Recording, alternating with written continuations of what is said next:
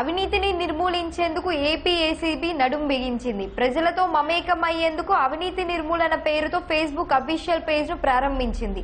అంతర్జాలంతో ప్రజలకు దగ్గరయ్యే ప్రయత్నంను ఏసీబీ అధికారులు మొదలు పెట్టారు ఫేస్బుక్తో పాటు ట్విట్టర్ ఖాతాలను లాంఛనంగా ప్రారంభించారు. ఈ సందర్భంగా పదమూడు జిల్లాల ఏసీబీ అధికారులతో సమావేశం అనంతరం వీటిని ఆవిష్కరించారు. Respectable uh, friends, our sir and all other colleagues, um, Madam Anuradha, Sri Pirmal Rao, our advisor Sarat Kumar. This has been a long dream to start uh, Twitter and Facebook account. As earlier we started WhatsApp.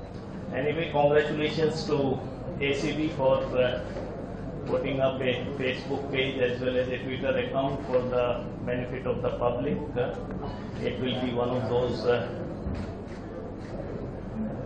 new avenues which will be available to the public for uh, giving their complaints etc. against the correct officers.